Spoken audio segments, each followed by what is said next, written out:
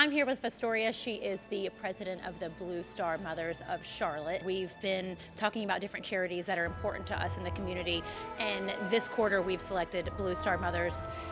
We just thought this was such a special organization. So, can you tell me a little bit about exactly what the organization does? Yes, Blue Star Mothers. We're mothers that have children that are currently serving in the military or have served in the past. And what we do, we support our military, whether they're active, veterans, or reservists.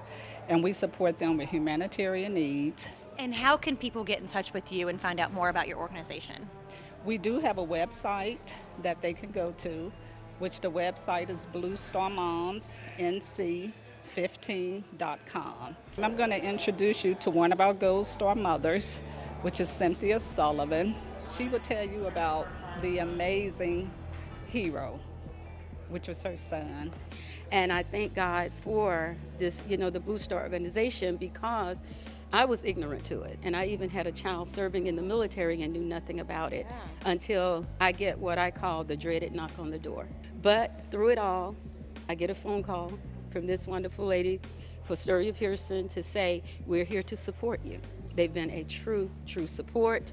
And I want the country to know this is an organization that we need to get behind. Giving what any bit of support that we can to mothers, Gold Star mothers who have been through a situation like you have is very, very important to us. And it's also great for us to know that there are still a lot of daughters and sons who are active in the military right now, and we call those our Blue Star mothers, mm-hmm. I learned. And we have a, a, great mother right here. I'm new to the group, so when I um, when my son left and I didn't know anything really about the military, I didn't have much warning. He just said, hey mom i joined um, i'll be gone in three weeks. And it's like wait what? You know?